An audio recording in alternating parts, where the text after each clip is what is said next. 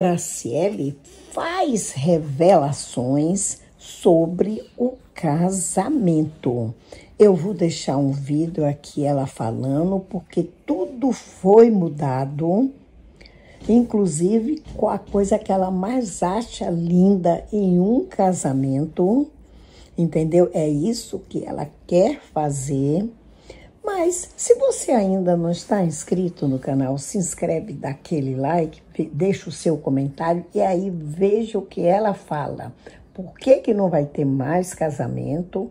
E quando tiver, como é que ela quer que seja?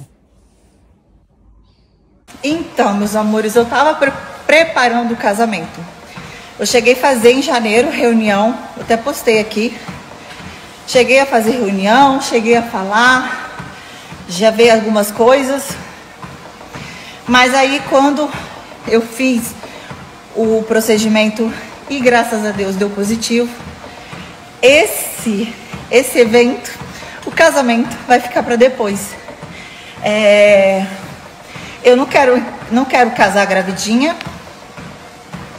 E aí agora a gente vai esperar porque primeiro que eu acho lindo, lindo, lindo quando um casal casa e o seu próprio filho leva as alianças. Então, a gente vai esperar para chegar esse momento e ser e ter essa benção, né, de ver ele ou ela levando as alianças.